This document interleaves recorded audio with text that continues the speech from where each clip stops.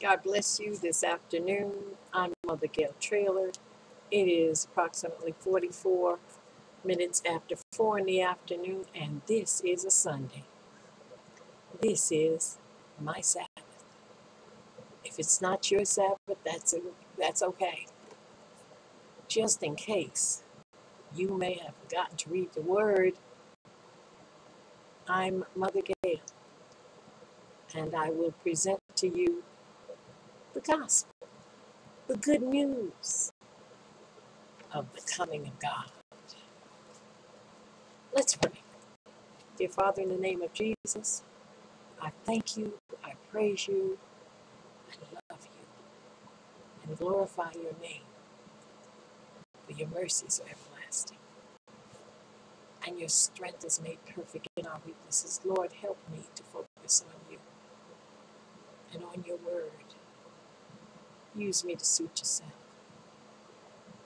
Lord, I heard your word today, and I need to respond to it. So bless me. Bless us. Bless us to bless someone else in the name of Jesus. Perhaps you were uh, busy, and you do get busy on Sundays as well, mothers, fathers. Some of us are able to get out to hear the word, and some of us not, are not able to fellowship on Sunday. And because of that, and because most of us who have uh, leisure time right now, they can relay the message to you in hopes that you too will receive the encouragement and the joy that the truth of the gospel brings. In Nehemiah, the fourth chapter, well, the second verse. First of all, let me tell you about Nehemiah. He's a cupbearer. What's a cupbearer do? Well, a cupbearer is very protective of the king. He's going to taste the wine, taste the food, even, just in case someone has poisoned or someone has oh, put something in that is it would danger the leader. These are strange times in which King Artaxerxes, the king, uh, had um, had much to do because uh, the remnant of Jerusalem were uh, left in captivity in the province of the Great uh, uh, Jerusalem, and they were in great affliction. They had had a battle in Jerusalem. They had lost a lot of the precious uh, artifacts and uh, materials necessary for life. Their homes were pilfered and destroyed. Their children were taken captivity. And now it's time for them after the captivity because uh, they were now back in their own jurisdiction and they were going to rebuild the temple for the God of Abraham, Isaac, and Jacob. Hi, I'm back.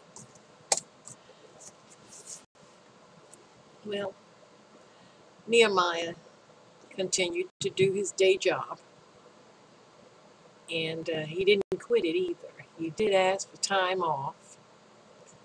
Had a good position. Of course, it was uh, was dangerous because uh, at that time people hated others. And that's the way it is now.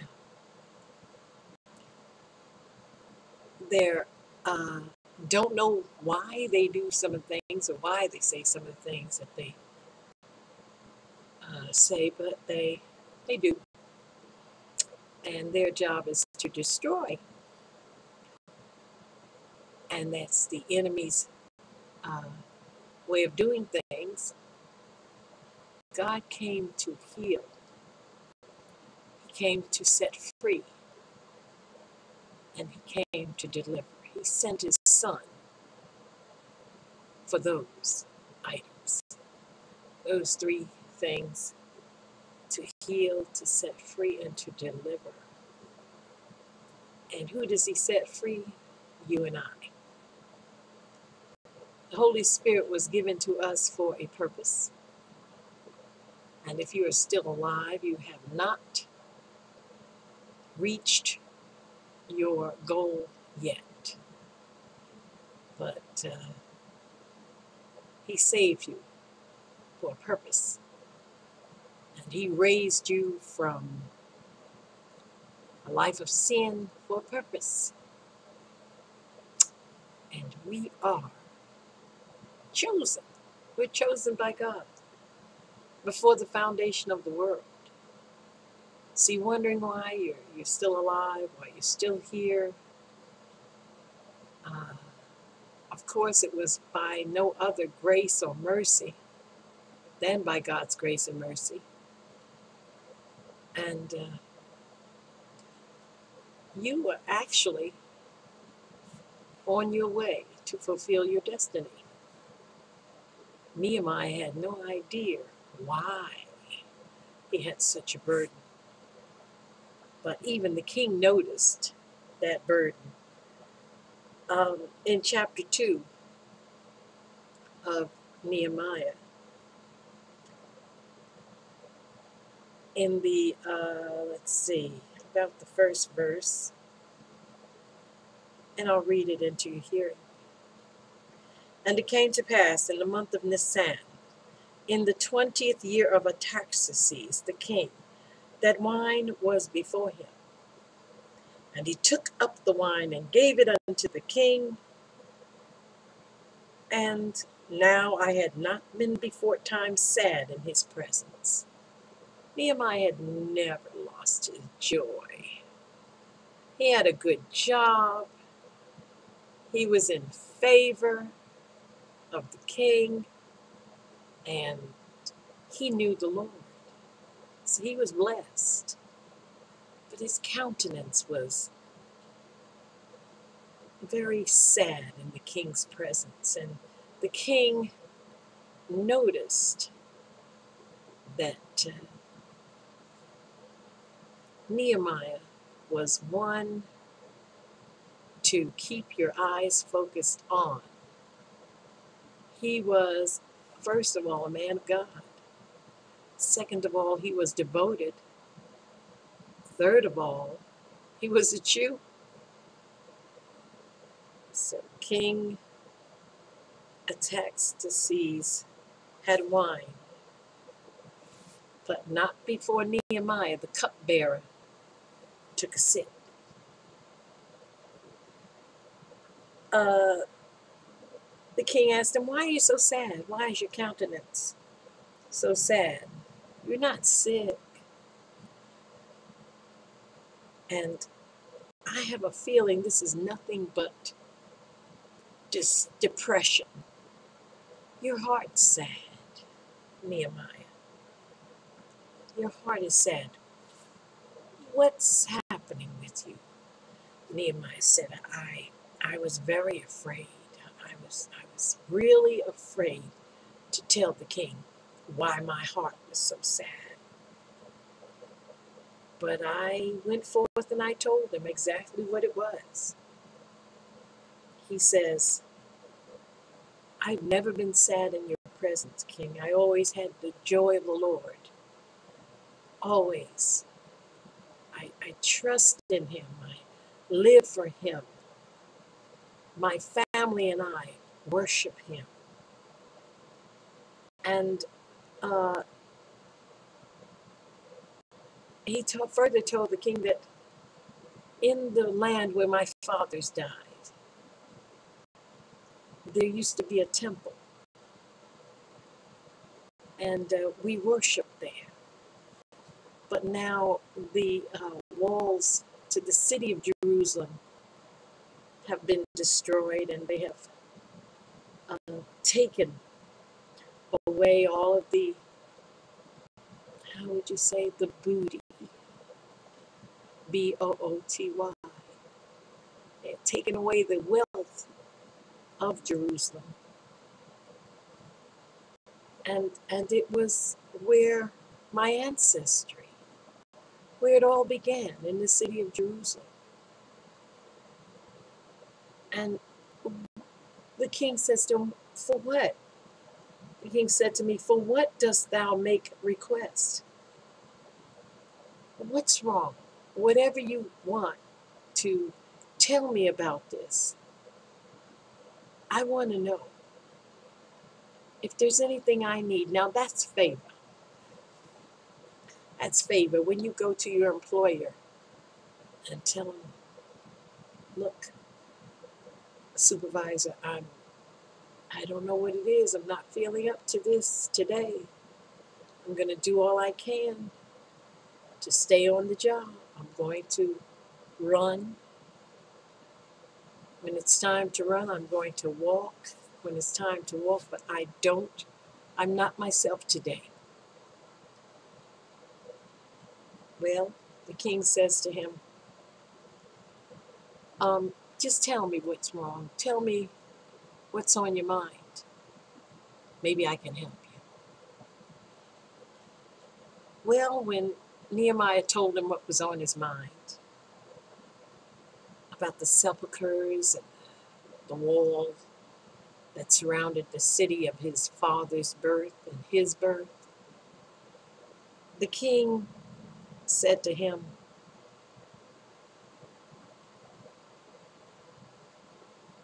and the queen was sitting there with him, with her, with him. He says, "How long are you going to be in Jerusalem?" This is this came this came to us. How long are you going to be in Jerusalem? Even the wife wanted to know. This this guy was such a a pleasant spirit. He had such a a heart which was close to God and he, he was a praying man. And the wife wanted to know how long you going to be there. I know you got to go to Jerusalem.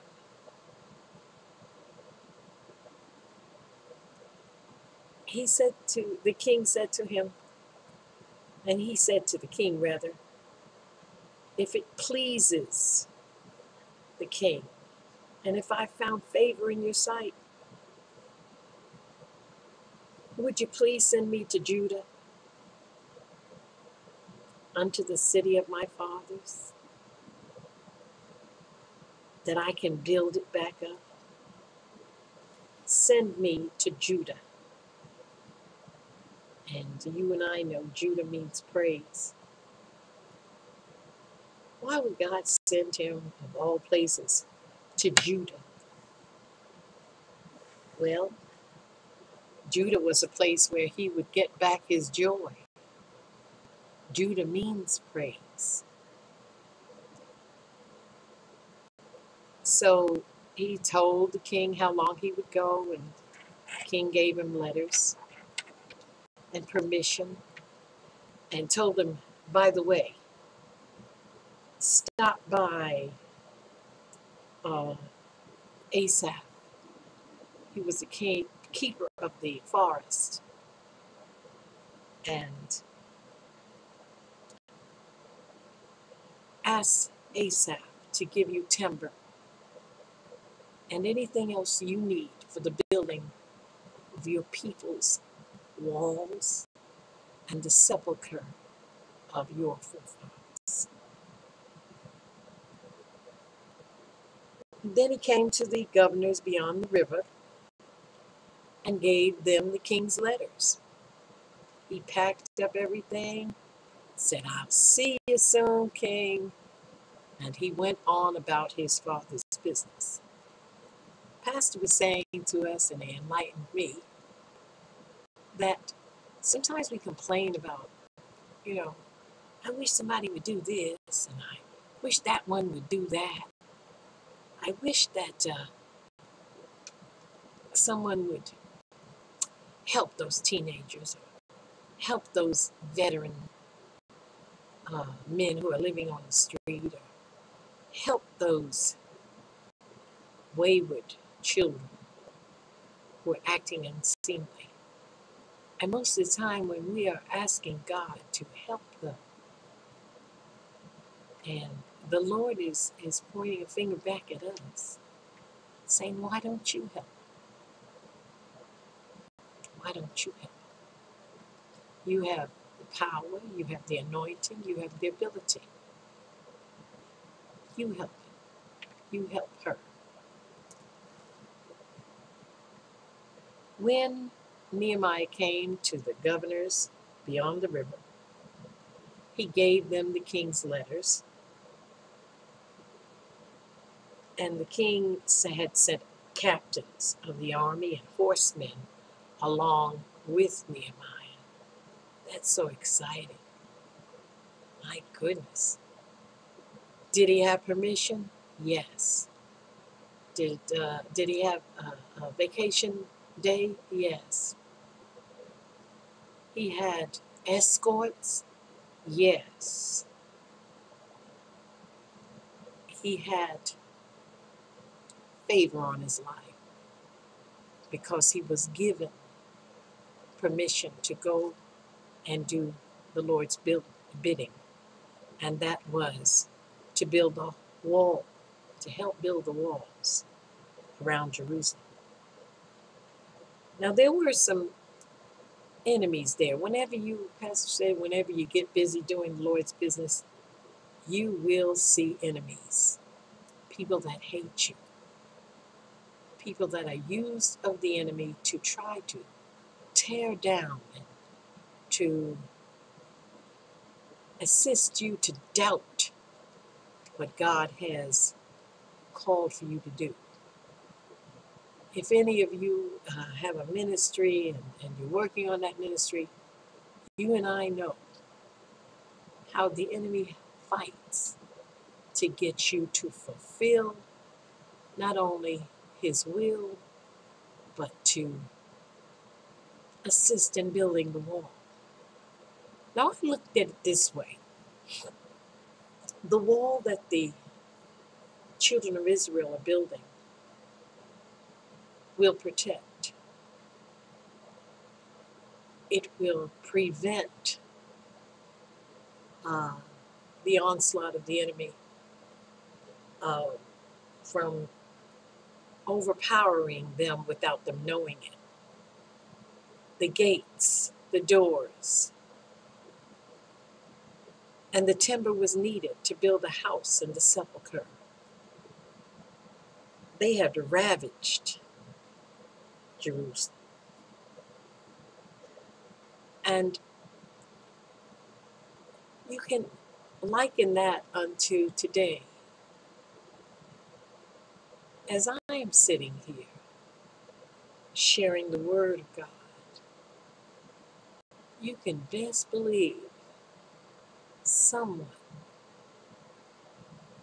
will try to destroy the purpose of this message. He doesn't want you to tell the good news. He doesn't want you to encourage anyone. He doesn't want you to live upright. He wants you focused on everything else, anything else. In this case, Nehemiah had and these were men of God, supposedly. Sanballat, the Horonite, Tobiah the servant, and the Ammonite. He was an Ammonite. And when the uh, servant Nehemiah had gone to Jerusalem, he took a night survey of what was necessary to fulfill God, uh, the, the, the process of the building of the wall. He took a, a walk around the perimeters of what was the walls of Jerusalem. Now you need walls. Everything needs walls to contain, to protect, to defend, help to defend. Our body has a wall, and it's uh, the I think it's called the derma, the outside. Then there's another layer, epiderm, epidermis, I think it is. And there's a layer after that. So we need walls. It keeps our bodies regulated. It helps to uh, keep the organs in place. It's keeping our minds, our brains from seeping out into other territories. Now, the church has the body of Christ as its walls. And it is recently and, and has always come under attack. The man of God, the people of God, the deacons, the elders. You can believe that somewhere somebody is planning planning your demise, planning your destruction. But God is with us, and He promised never to leave us nor forsake us. God was with Nehemiah because with what he was given to do through the Holy Spirit, no one else could do it but him. No one else could do it but him. Hi, thank you for holding. Well, you and I are placed strategically to build up walls for the kingdom of God's sake. We are not only building walls, as in the days of Nehemiah, but we are climbing higher heights and deeper depths. We're learning how to trust Him, how to serve Him.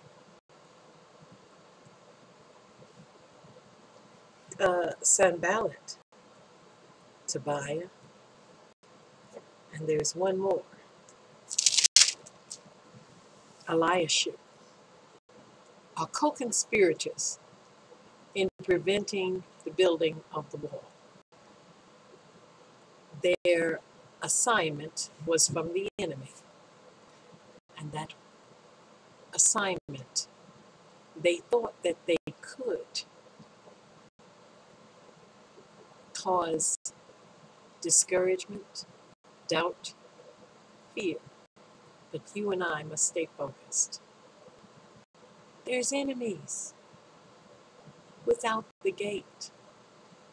And in this case, there's enemies inside the gate.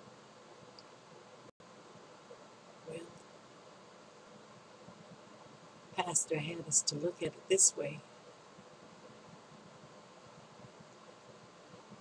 Watch as well as pray. Watch these are times when all anything can happen. Everything is happening. That can happen. Anything happen can happen. But we are to stay focused. We are to stay on our post. We are to magnify his name. And the only way we can do that is to continue to walk in love toward those that are without, even your enemy. Sometimes your enemy may come in the form of a relative, a close one, or a distant relative. Such may be the case. And the 4th of July is Wednesday, and a lot of us uh, will come in contact with the enemy. Now remember, he'll use who he will.